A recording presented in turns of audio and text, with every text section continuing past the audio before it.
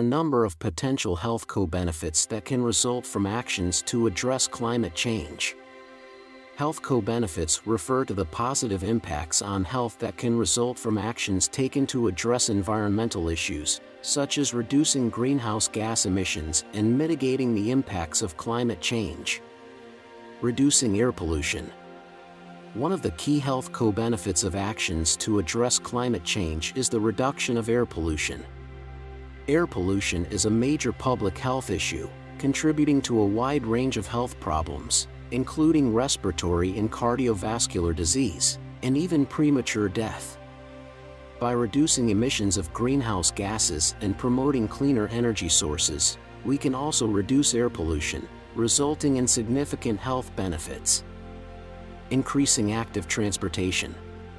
Another potential health co-benefit of actions to address climate change is the promotion of active transportation, such as walking and biking. Active transportation can promote physical activity, which has numerous health benefits, including reducing the risk of heart disease, stroke, and certain cancers. By promoting active transportation and reducing the use of fossil fuels, we can help to reduce greenhouse gas emissions while also improving public health. Improving food security.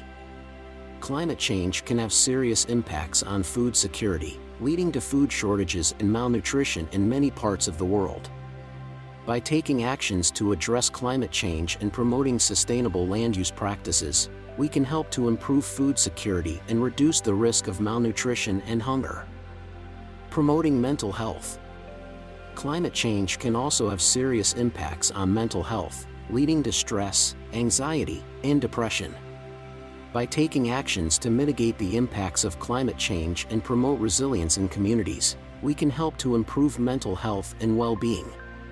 In conclusion, the potential health co-benefits of actions to address climate change are significant. By reducing air pollution, promoting active transportation, improving food security, and promoting mental health, we can help to mitigate the impacts of climate change while also improving public health and well-being. Thanks for watching. If you liked the video, please like the video and subscribe our channel for more digital health content. Thank you.